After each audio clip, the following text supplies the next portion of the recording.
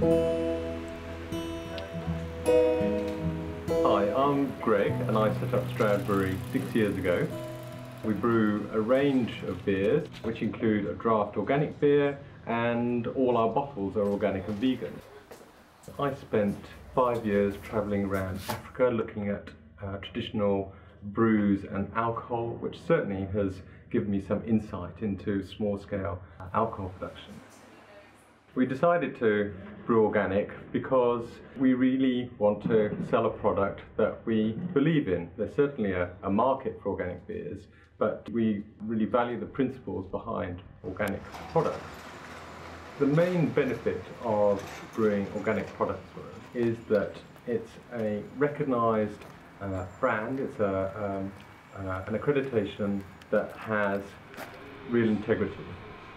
Uh, the best thing about the organic standards isn't just the production. It's the standards cover everything from uh, the growing, the production of our barley and our hops, but also how we brew. And I think more importantly for us, it also includes a little bit about how we do business. And certainly something that we'll be looking more into is the Soil Association ethical standards, because that's what really interests us in, in terms of a sort of sustainable business and a sustainable future. Uh, that's increasingly more important. And I'd love to see that proliferate around uh, the UK and indeed everywhere. I think having those shortest links uh, in the future without any transport is going to be a really important part of our sustainable future. Our plan isn't to continue growing forever. In fact, we want to challenge that myth that if you're not growing, you're dying. For us, it's about diversifying, maintaining interest, uh, and um, doing what we do best to maintain our small team uh, and have our business going on into the future.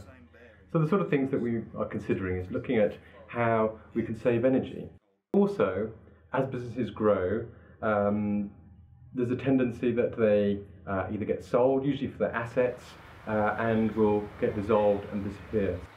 One of the things that we're considering might be to sell part of our business or entirely into community ownership so that the business can then act as a, a financial vehicle and a, potential investment for local people to put their money in and uh, get some return.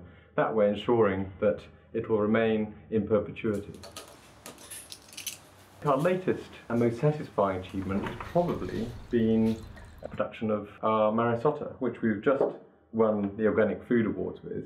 And why that's such a great achievement um, is that we've managed to identify a local farm that grows the only organic Maris Otter in the world. We then took that uh, and produced a product that is of great quality, that uh, represents everything that we do at the brewery. It's about great beer, uh, great packaging, uh, it's an organic product, it's vegan, it says everything about us that we do best.